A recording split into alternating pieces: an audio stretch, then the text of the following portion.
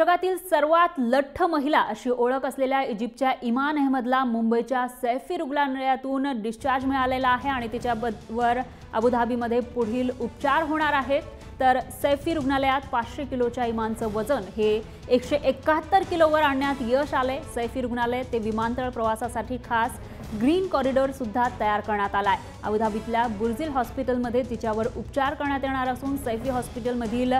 तेरा डॉक्टरांची टीम अबुधाबीला जाणार आहे. आणि आपण पाहू शकतो या ठिकाणी जिचं वजन पाचशे किलो होतं ती आता एकशे एकाहत्तर किलोवर आलं आहे